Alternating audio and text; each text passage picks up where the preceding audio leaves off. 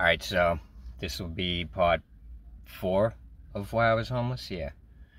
Uh, so first of all, happy New Year's, everyone. Um, you know, thanks for all the support. This is this has been 2022 was a crazy year for me, and then the way it ended, like, I need to make a video about it because uh, the way my my last week or two has been completely insane. Like and I'm gonna make I'll make a video about it sooner or later. But you know, Happy New Year's, everyone! It's uh, 2023. It's the year of the rabbit.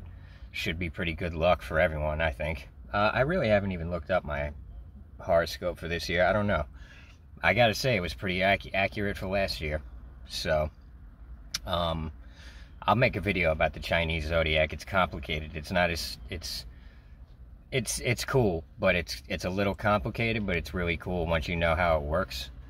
Um, so 2023 is going to be a great year. I can I it's I can feel it. So um, where we left off, if you want to know where we're at up until this point, just watch the previous videos. You know, I'm explaining why I was homeless, and it really it to get the full story, I need to make all these like kind of longer videos because in the end, you'll see, you'll understand why I did what I did. You know what I mean?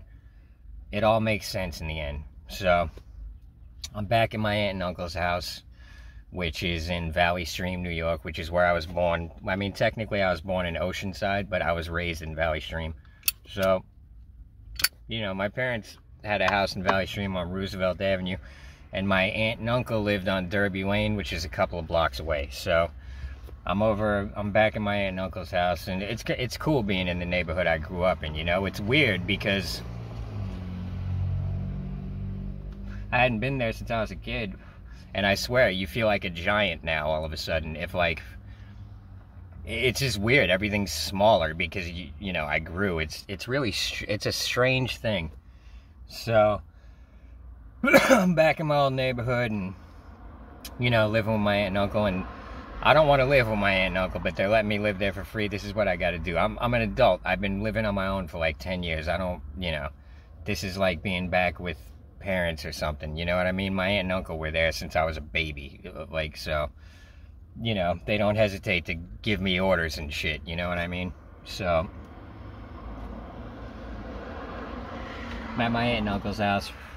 They're making me go, you know, walking blocks away just every time I want to smoke a cigarette, which I don't mind. I, I don't, I don't mind walking. I like taking long walks and shit. So, but I need to get a job because I have no money, and I mean zero. I, I had maybe two or three bucks to my name.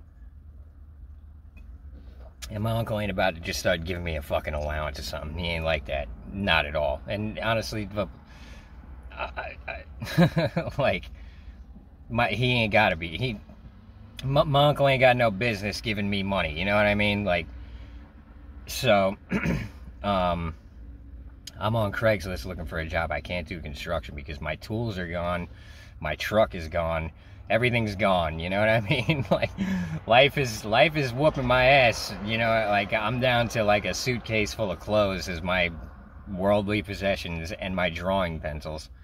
And so i'm looking on craigslist for a job uh, and i'm just and the other thing with construction is i'm i want to do stand-up comedy. Now i know if i'm going to be busting my ass all day doing construction then I got to come home and take a shower and all that shit. It's going to be probably too much to also pursue stand up because I want to get out to the city and do stand up as much as possible. Um, and it's not it's not cheap to get from Long Island to Manhattan because you got to take the Long Island Railroad. Although le- later on I found cheaper ways, which I'll explain, but they're it's a pain in the ass like to do it cheap.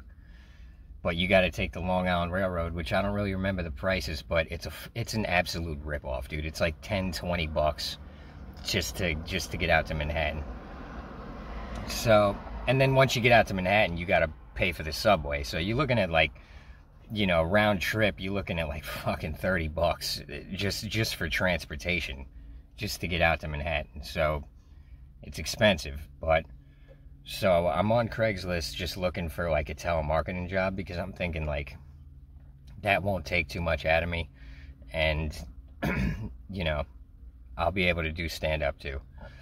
I don't want to fucking do telemarketing. I hate doing telemarketing, but so I'm looking on Craigslist and I'm, you know, sending some emails out. I, I and this one is right.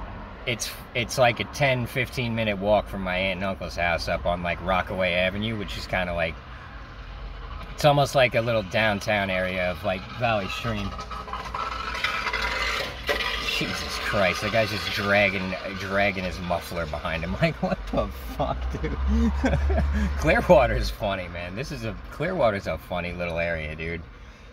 Anyway, so um what the fuck was I even talking about? So I'm trying to get a job and I and I find this place is like a 15 minute walk from my aunt and uncle's house. It's on Rockaway Avenue.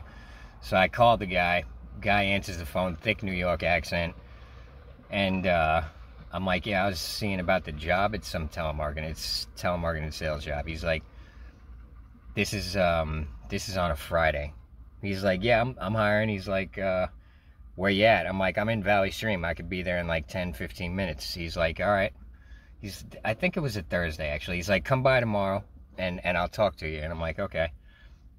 So the next day I I go over there, and for some reason I, I just kind of like this guy right off the bat. He's I can tell he, he's just old school, like New York, you know what I mean? So I go to the place I, I and I go upstairs and uh, I walk in and this big black dude, he's like, what? He's like, what do you need? I was like, well, I'm here for an interview. And he's like, I'll do the interview. And then this other guy pops up. He's like, no, Mark, I got it. And I tell you what, this, I don't think that black guy would have hired me. It, later on, like me and him just didn't really like each other. But so the other guy pops up. He's like, I'll do it. And this guy looks like a Guido, like Long Island Guido Ita- Italian guy, a little older than me, but not much. You know, his hair's all moosed up and shit. like, so I'm like, he's like, I'll do the interview. And he takes me back to the office, and I don't know who this guy is. As it turns out, he was the owner of the company and a fucking millionaire, but you would not have guessed it to look at him. You would have thought he was some sort of like Goomba from fucking, you know, some Long Island, you know, Jersey Shore type dude, you know. But so he's uh, he's like, "Where you from?" I'm like, "I'm from New York, but I lived in Florida. I lived in Vegas." And he's like, "Why you traveling?" He's like, "Why you bouncing around like that? What you a fucking felon or something?" I was like, "Nah." And I, I gave him a quick rundown. I'm like, I just, you know, things are, the economy's all fucked up, and, you know, I'm not cursing and shit, but I'm like, I, um, you know, it's just the way things have gone, dude. I'm, I'm not. You can check my fucking record. I, I've been arrested for like possession of alcohol um, as a minor, stupid things, weed, little bullshit. So he's like, um, he's like, all right. And then, I, and I was like, well, I also do stand-up comedy. That's why I came back to New York. He's like, get the fuck out of here. That was what he said. I'm like, yeah, I do stand-up because I don't seem like the type to do stand-up. He's like, he's like, "Let me see something you did with stand up." He's like, "You got something on YouTube or something?" And I had it. I had a stand up video on YouTube, and I'm like, "Yeah." I'm like, "But I curse," and he's like, "I don't give a shit." If you, he's like, "Well, what's the fucking? Tell me it." So he looks it up, and he's sitting there watching it, and he's fucking cracking up. He's loving it. And he's like, You're good, man. He's like, Holy shit. He's like, That is fucking funny. He's like, You're hired, dude. He's like, Come back Monday, man. He's like, We're, I'm gonna fucking train you. I'm gonna give you a job. He's like, I like you, man. I'm like, you know, thanks, dude. His name was Frank. I'm not gonna say his last name because, in the end, Frank got deported back to Italy.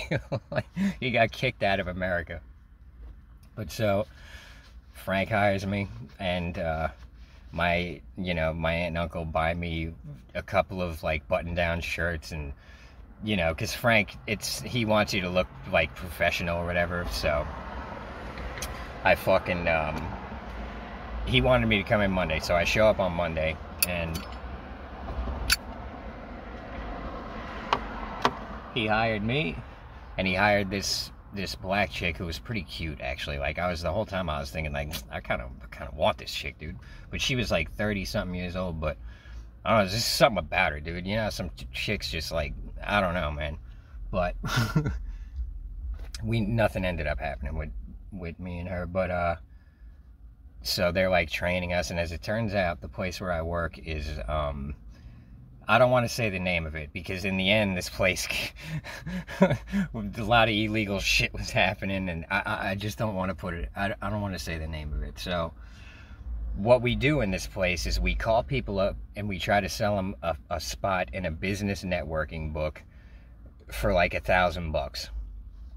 But the way it's done is now there's a bunch of these companies which all branched off from this main one, which used to be in like on Wall Street in Manhattan. So this this main one is like the real deal. You know what I mean? It's this actual business networking book that people are kind of they, don't let just anyone in they recruit people to be in it and it's like if you want to be in it you got to pay them a, a, lot of money but eh, you know but it is it's like it's an it's an advantageous thing for like business people but so a lot of the little you know slick ass new yorkers who were working for this guy in wall street just got to thinking to themselves like man uh, fuck this guy i'm gonna start my own so Frank was one of those people.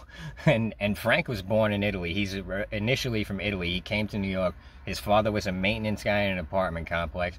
Frank went from pretty poor, you know, from a, from a poor family to a millionaire. He drove like a $200,000 Mercedes. Frank was a fucking millionaire. So you got to respect that that of it. He's not the most honest guy, but he he he brought himself up from nothing and made himself filthy rich. But in the end, he lost everything. But so Frank was, you know, I liked Frank. I liked Frank a lot. A lot of people didn't like Frank. I fucking loved Frank. Anyways, so we um so what it is is I'm calling people up trying to sell them a spot in this business networking book and I'm right off the bat, I'm like, this is this is a little fishy, you know what I mean? But whatever, I gotta make money. I, I want to do stand-up comedy. I gotta get out to the sea. These fucking mosquitoes are, dude. The mosquitoes in Florida are non-fucking stop, dude. I'm just getting attacked right now. So Frank does a little training thing, and I uh, I don't want to do it, but I'm. This is what I got to do. So I'm figuring I'm not gonna. I'm you know I'm not gonna pressure these people into doing nothing they don't want to do. If I'm, I'm gonna, I'm gonna try to be as honest as possible while not getting fired for lack of sales. So, as it turns, fuck. As it turns out, my first call, I get a fucking sale on it. Like, God was just with me, bro. So I right like first call I got a thousand dollar sale for Frank. Frank's like this I knew this kid was great, man. Fucking and so but I I honestly couldn't I didn't feel right charging these people a thousand bucks because I saw the book and I'm like it just wasn't put together that well and this was after I had worked there for a little while and um I just I just I was like this is this is kind of a fucking rip off dude so what I would do with a lot of the people is I'd sell them the cheapest spot in the book which is a couple of hundred bucks I just didn't feel right charging them a thousand bucks you know but I didn't want to just not make money for Frank. I, I wanted to I want I wanted to make more for him than he was paying me, so he'd keep me working, you know. So I'm working for Frank, and I'm finally able to afford to to go do stand up. And Frank had a Christmas party, and he's like, He's like, man, you want to do stand up at my Christmas party? I'll give you a hundred bucks. I'm like, yeah, fuck yeah, I'll do it. So I'm, I have like no money at this point. My buddy Vaughn loaned me like 50 bucks just to keep, keep me from being completely destitute. So Frank's like, come out to my Christmas party. I'll give you a hundred bucks. Do, do some stand up. So Frank has this pretty badass Christmas party, gives me a hundred bucks. I do stand up and he's buying me drinks all fucking night. It was a fun night.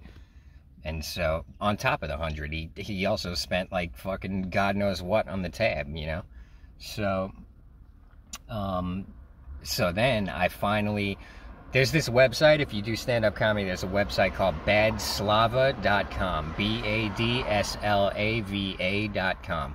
It shows every open mic in the country, and back then they were on point. Like this was a lot of the people in New York were using this website to figure out what new mics were popping up because there's so many open mics in New York that it's it's hard to keep track of them all. But I gotta say, once you know the scene, there's only a few that are worth doing. Most of them are a fucking complete waste of time.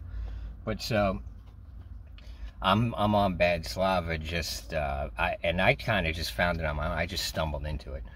and I'm on Bad Slava looking for an open mic to do because now I can afford to do stand up and I can't fucking wait. You know, I'm I'm I'm pretty psyched up after in Vegas. I'm I, I was undefeated in stand every single stand up comedy competition I had been in up until this point. I won. I every single one.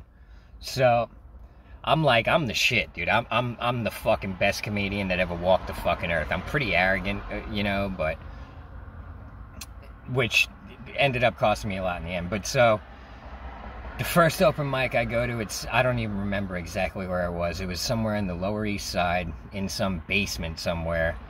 And I get there, and there's literally like seven depressed, you know, comedians in this basement waiting to do stand up. And it was like that was the entire crowd. I'm like, what the fuck is this? That like I just came from Vegas where I'm doing crowds of 200 people. You know what I mean? And here I am in some dingy ass basement in the Lower East Side of Manhattan, and I'm like, what the fuck is this? I I I knew the minute I wa- walked in that this is a waste of my fucking time. I'm doing stand up comedy for 10 open micers who do not give a shit. The host was cute. It was this Russian chick. I think her name was Lupa or something. That was the only, the only positive about the whole thing. She was a very attractive Russian girl, woman. She was like 40 something, but hot, dude. So that was the only the only plus side to the entire. So I'm like, I'm like, what the? Maybe I should have stayed in Vegas. What the fuck is this, dude? You know. So I, everyone's doing their stand up. Nobody's nobody's very funny. It's pretty much torture. No one's laughing at anything. I go up. And no one's even laughing at my jokes. They just don't give a shit. Maybe a chuckle here and there, like if you're if you're pretty good, people, you know, these are comedians. They're not gonna sit there fucking yucking it up, but they'll get they'll like audibly chuckle just to be like that was that was good, you know. So there's a little bit of that happening, but I'm like, what the fuck is this, dude? What a waste of fucking. So I'm like, this this is fucking this is ridiculous, man. So I go back to my aunt and uncle's house and I'm really starting to doubt. I'm like, man, maybe I should have stayed in Vegas because at least there I, I was entertaining people and, you know, I was killing crowds. I was killing pretty much every crowd. Now, what am I? I'm to do stand up for 12 people at a time who don't want to hear it. So I uh, get back to my aunt and uncle's house. I'm working for Frank, whatever. Then I don't know even how I found out about this. I saw it online or something. There was at Comix Comedy Club in, in Manhattan. This is in like, I think it was the the like meat packing district or what what do they call that now? Now it's like some really expensive. It's like the Lower West Side of Manhattan. So, I um, I, Comix Comedy Club is doing this thing called March Comedy Madness where they're having like every comedian in New York City is going to compete. And this is like every fucking comedian in New York City. So I'm like, here's my chance. I'm gonna, I'm gonna fucking wreck every one of these motherfuckers, man. So I go to the audition and I fucking murder it. Um, so finally, at the audition, they got me in a crowd in front of a crowd of a couple hundred because it's all the comedians in the city who are trying to get in this competition. So finally, I got a crowd. But we can only do two minutes, which is no problem for me because I can I can squeeze off like three, four jokes in two minutes. Like, so I just did three, three, four quick little jokes. They, the, the crowd was, they were fucking cracking up. Like this kid, he's good. You know, it was all the comedians in New York City, and everyone was like, you know, they love me. And so I get to the next round, which is now I'm in the competition. There's 64 comedians, and um, and one of my one of my friends in Florida, his sister had ha- happened to move to New Jersey pretty recently, so now I think it's I don't know it's like a Friday night or something, and this is the first round of the competition, and my buddy's sister, um, I don't know, we we we got to we were communicating back and forth a little bit. She's like, yeah, I'll come out. I want to see this shit. So she comes out, and I go up against I don't remember the comedian's name. It was um, uh, I don't remember his name, but I fucking smoked him, dude. Like the the way they they decide who wins is I'm not gonna say the comedians' names except for at the end because the one who beat me in the end, well, I just ruined the whole fun. is is a he's a good comedian and he's good. Anyways, so I wrecked this kid, dude. The crowd to say they liked me is a fucking understatement. They they were it was the, the fucking roof almost came off the place. I killed them that hard because the first round was only like a minute or two, and most comedians it takes them a minute or two just to just to get to starting to a bit or something. I could I I ripped off I I did like you know three four jokes in in this amount of time, so the crowd fucking loved me, dude. And so I, you know, my buddy's sister was so hyped up. She was like, holy shit. She was like, they fucking, she was like, they were going fucking nuts, man. She's like, I don't think they were that loud for anyone, you know, but that was only the first round. And then the next round, I forget. Now it's like they're doing one round a week. So the next week, I go up. Oh, and at this point, I had rented an apartment. So I'm not living with my aunt and uncle no more. I'm renting some dungeon basement shithole in like Northern Valley Stream. Like, it's like a blood neighborhood, but it didn't matter. Everyone, like, the thing with gangs and shit is if you're not in a gang, they pretty much don't give a shit about you. You know what I mean? So everyone pretty much just ignored me, asked me for a cigarette once in a while if I'm walking by. But so I um I'm I'm renting this shithole dingy basement sh- dump dungeon with no heat and whatever. But I was paying like 600 a month. So I'm you know, so round 2 comes, it's the next week. I wrecked the kid. The, you know, it's like the um the rounds are getting a little longer each time. I wreck him. Next week comes by, I go up against the dude, I smash him, and now I'm in the finals. That was the semifinals.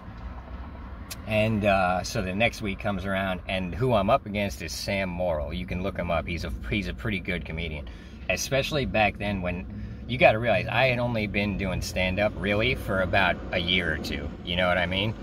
And he had been doing stand up for a while. But either way, he's good, and he legitimately he had more material than me. I didn't want to be repeating material I already used, so like I was almost out of like fire material. I had used it all to get to that point. So, but what I should have done, in you know hindsight 2020, I should have just went with all my best material. But like a moron, that's not what I did. I was thinking, all right, I already did that, you know. But so we, me and Sam go at it, and and he wins. And honestly, I was not I, I wasn't really disappointed at all. I was like, at least I lost to probably the best comedian in this whole fucking thing. And, um, and at least I got to the end, you know what I mean? So walking home that night, walking back to the train, I, I was pretty hyped up. It was probably the happiest I ever been in my life, or one of, one of the happiest times. I bought some pizza and man, I, I felt like a million bucks because I, now the entire New York comedy scene knows who I am, and they know that I had pretty much like you know beaten beaten pretty much everyone except for Sam Morrill, who was everyone knew he was fucking good. You know what I mean? So my rep all of a sudden is good, and uh, and so all the comedians in New York know who I am, and then. So then I start hearing about other mics, and I'm sorry. Well, I'm not hearing about them, but I'm hitting them up on Bad Slava. I've, I'm getting I'm, a lot of them are shit, but I'm starting to find some good ones. There was the the Creek and the Cave, which I had other comedians like I'm talking to comedians at the mics, and they're like, everyone kept mentioning the Creek and the Cave, which as it turned out is one of the best fucking mics on earth. To be honest, it's not an easy mic. It's a New York, New York fucking mic where you, there's going to be a lot of people there, but it ain't going to be they ain't going to be no supportive easy crowd. If you kill it, you're going to kill it. If you don't, they they ain't, they ain't going to pretend that you did. So then there's the pit, which is the People's Improv Theater, which was another mic, which was infamously difficult because it's the pit, and that was that was just how it was. Everyone used to go there, but people were not gonna they ain't, they ain't gonna be supportive. They don't give a shit. It doesn't matter if Sam, you know they could they could like you as a comedian, but if you don't do well that night, ain't nobody gonna sit there and pretend you did. So the first night I do the pit, everyone is bombing, and I mean everyone. And these are comedians I've seen around the scene who are they're good. And I'm like, wow, one after the other, they're just eating shit, dude. And so then I go up, but, but but but one thing that I'm noticing is a lot of them are good at bombing. It's like they're not getting rattled, they're not getting shook. It's nothing to them. They're like they're bombing comfortably, which I had never seen before, and it's something I I am not. I when I bomb, I just want to be invisible. I don't. I hate it, but they didn't seem to give a shit. I'm like, that takes some fucking nerve. And so everyone's bombing, but none of them seem to care at all. So so I go up and I'm like, man, I'm like, y'all, y'all fucking good at bombing. I was like, y'all got that down fucking pat. fucking, they were all laughing because it, like, it was just, it was true, you know, everyone was just bombing well. and so, at, once you make them laugh once, it ain't hard to make them laugh again, you know. So I actually did real good that night in the pit. And every time I did the pit, I did pretty good. Um, but so, and then the creek and the cave, what they do on Friday nights is there's one mic downstairs at like 7, and then there's another mic upstairs at like 9. And every, all the good comedians in New York used to go there on Friday night. And I mean all of them, all the good ones used to go there and party all fucking night pretty much. But this was the mic to be on a Friday night. It was the creek and the cave. It's not in New York no more. It used to be in Long Island City in Queens, but Rebecca had to move it to Austin, Texas. Now it's in Austin, Texas. The reason she had to move it was because of all the COVID bullshit. They they they ruined New York City with that shit. That was why I left New York too, which I'll get to that later on. But so, um, the Creek and the Cave is a is a badass mic, and I didn't kill it every time. I'm not gonna pretend I did. I because the other thing is when I'm doing stand up at this point, I'm all I'm trying to do is is come up with new material. If something works and I know it works, I don't fucking do it no more. That's for a paid crowd. That's not that's not for me to look cool at an open mic, you know. So all my material that worked, I just put it to the side. And every and I was working real hard to come up with new material. And that's why I've got pages and pages of good material because I was doing it like this. My only concern at this point was coming up with good new material. And I was coming up with maybe a minute or two maybe um, uh, a couple of minutes a month I'm coming up with which is not bad when when you're going as consistently as me but so now working for Frank I'm you know, there was weeks my commission was good, I'd make a lot of money. There was weeks my commission was bad, I wouldn't make a lot of money because if I called the people and they were into it and they wanted to be in the book, I'd sell them the the full. I'd get them for like a thousand, fifteen hundred, whatever. But if I had to really sell them on it, I'd just get them on the smallest one, because I don't want to fuck them out of their money. Because I know this book is not, it ain't what they think it is. It's not the one from Wall Street, you know. So, um, after a while, I just, I kind of hated the job so much and I just, I wasn't into it at all. I didn't want to quit, but I kind of wanted to get fired so I could get unemployment and keep doing stand up. And so eventually that's what happened. Frank was like, man, he's like, you, got to start selling more or I got to let you go. I'm like, I get it, Frank. I, you know, you're not, this ain't a fucking charity you're running. I didn't take it personal at all. And that, like I said, I kind of wanted him to fire me so I could get unemployment. So, uh, and the other thing is, I just, uh, to be honest, I really didn't want to be, I just didn't want to be connected to this company. It was just, it was a little shady, man. So, finally the summer rolls around and then frank's like i gotta let you go i'm like all right i get it no problem so i get on unemployment but I can't really afford to do stand up much. Like, they didn't give me much unemployment. I can only get out to the city like once a week to do stand up, and, you know, I've still got to pay rent, and I'm barely eating this entire fucking time. And it was a long fucking winter, I'll put it to you that way. And it snowed that whole fucking winter. This was 2010, 2000. This was the, the end of 2010? Yeah. So, um, but then my aunt and uncle call me up and they're like, Joey, you want you you need a fucking job. They're like, we can get you a job. Your cousin Johnny works at the horse track on Long Island in in Belmont where they do the Belmont Stakes. Your cousin's in there. He'll get you in if you want the job. And they're like, we suggest you take it. and I'm like, I'm I'm like, that's you know, it's a huge relief to me. But I'm also thinking like isn't that kind of pussying out on what I set out to do? I'm out here to do stand-up comedy. I'm not out here to to do to work like a reg to do that regular shit. I didn't come all this way to do that, but you know what? I'm tired of just being in this basement. I can't afford to do anything. All I'm doing is writing jokes. I'm getting out to the city once a week. Whole winter goes by. I'm it's there's snow on the ground and the whole fucking winter there was snow on the ground. And I've got no heat in this apartment and the the roommates are coming and going. So initially, the first roommate was this black chick, pretty decent looking chick, but there was just nothing, absolutely no like connection between us. So we pretty much just ignored each other. Next one was this Chinese dude who was like straight from China, messiest person I ever met in my life. I've never seen. uh, he barely even spoke English, so we didn't really communicate. But then this dude Nas moves in, and right off the bat, me and Nas are friends. Like, he's just one of them people where he's, you know, cool. You know, we clicked right off the bat.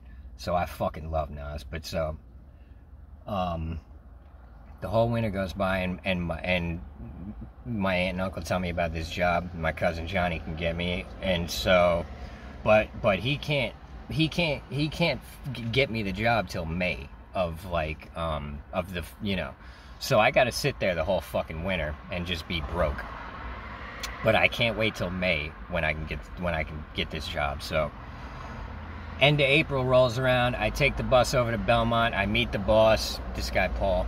Paul was cool. All the bosses at Belmont are cool. I, I liked everyone there. All the people I worked. I liked everything about the job except it just I didn't come all that way to work there. I didn't I didn't come all that way to do that. So, but it, but I tell you what, I was so broke and so kind of just desperate to not be broke anymore that I I went in, I talked to Paul, and Paul's like, well, yeah, he's uh, you, you, you're Johnny's cousin. Johnny's great. We fucking love him. So you're hired, pretty much. Come in. I think um, it, it, was either maybe May 15th or something. Oh, and here's a funny little story. I, I had to pass a piss test to, to start at Belmont. So, all right, we're, we're getting we're getting low on time here. So, let me um, maybe I should just leave it right there. So I knew that in order to get this job at Belmont, I had to take a piss test. I'm gonna leave y'all with a bit of a cliffhanger. So, um, I'm like, whatever. I ain't smoked weed in months.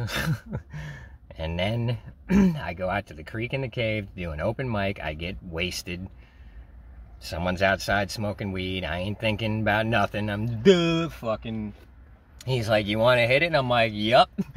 fucking, me and him smoke the fuck out. And I'm thinking nothing of it. I fucking go home and I wake up the next day, like, bolt upright, like, oh shit, what the fuck did I do? I need to pass a piss test this coming Friday. So, I'm in fucking panic mode, dude. I, I don't, I don't know if, like, and we were smoking good, strong fucking weed. I I was hitting it like my life depended on it, dude. Like, you know, just I was in party mode. You know what I mean? And fucking, I'm thinking I better not have fucked this up because the unemployment is like it ain't gonna. I probably would have been able to get it for a couple more months, but I didn't want to fucking be that broke no more, you know.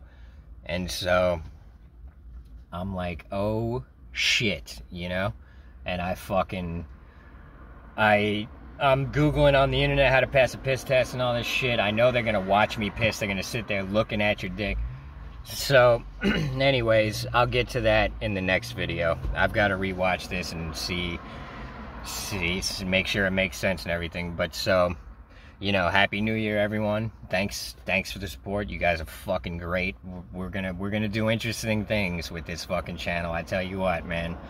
I'm, I'm kind of trying to get through this whole homeless thing because there's other videos I want to do, man. Because I'm leaving out so much shit that there's so many lessons and stories in there that I, if I did it all, it, like the, the videos would be fucking five hours long. So you know, and then I, I don't need to go through like this. I'm this is a rough outline of what I've been through, so people can reference it later on or whatever. And you know what I mean? Because when I'm telling stories later on, you can see like what part, uh, whatever. You know, you, you see what I'm doing. So you know, appreciate all y'all, man. The fucking, you guys are fucking great, man. I can't do everyone by name. I, I would if I could, you know what I mean? And PayPal doesn't let me thank people. It doesn't let me communicate with people. It just doesn't let me. Like Cash App, Venmo, I can send them a heart or whatever, but PayPal just doesn't let me do no shit like that. So believe me, I'm not fucking ignoring you, and I and I really appreciate y'all, man. You guys are fucking. I love y'all, man. Y'all fucking. This channel's turning out. This shit's turning out great, bro. Anyway, so next video, you know, either be some, you know, within the next couple of days, I'll get it up, and. uh so I'll see y'all in the next one. Happy New Year.